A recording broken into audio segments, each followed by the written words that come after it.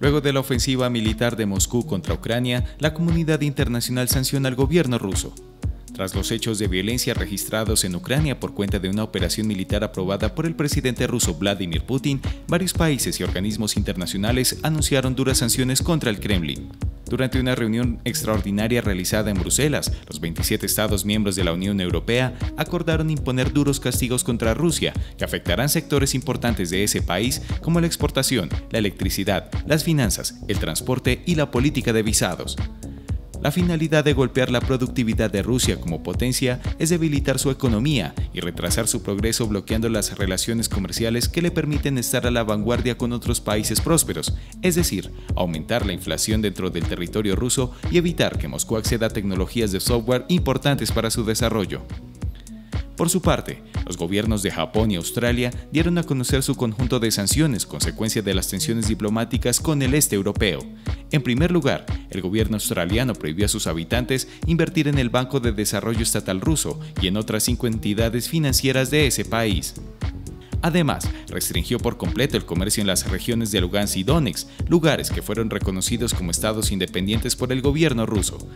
Por otro lado, Japón anunció la suspensión del visado de funcionarios de las dos regiones separatistas, congeló sus bienes y prohibió las relaciones comerciales con estas zonas. Asimismo informó que prepara otras represalias en conjunto con la Confederación Económica del G7. Estados Unidos y Canadá también se unieron a la comunidad internacional para sancionar al gobierno ruso, congelando los bienes de bancos y limitando las relaciones de comercio con ese país para poner en jaque su economía. La OTAN por su parte prepara amonestaciones contra Moscú y afirmó que se va a defender la soberanía de sus estados a como dé lugar, razón por la cual las tropas de la organización han aumentado su presencia en los países miembros del este. La actual presidenta de la Unión Europea, Ursula von der Leyen, anunció en las últimas horas que 27 países de Europa cerrarán el espacio aéreo a las aerolíneas rusas. Algunos de los países que cerraron sus cielos son Alemania, Polonia, Letonia, Lituania y Estonia, también se ha sumado España, Francia, Italia, Bélgica, Dinamarca, entre otros. Ha comentado von der Leyen, haciendo énfasis en la unidad entre naciones y su rechazo a las decisiones de Putin.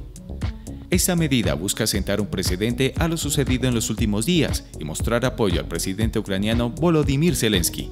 Además de esta acción, hay muchas más como la prohibición de las principales cadenas de televisión internacional de Rusia financiada por fondos del Estado como la RT o Sputnik TV, así como sus filiales. Por otra parte, la Unión Europea sigue estudiando nuevas sanciones y también revisando los planes de contingencia por estas medidas, pues muchas de las decisiones que han tomado son de doble filo y también impactan la economía de las naciones que hacen parte de esta organización. Nuestro espacio aéreo se cerrará a cualquier avión ruso, y esto incluye los jets privados de los oligarcas.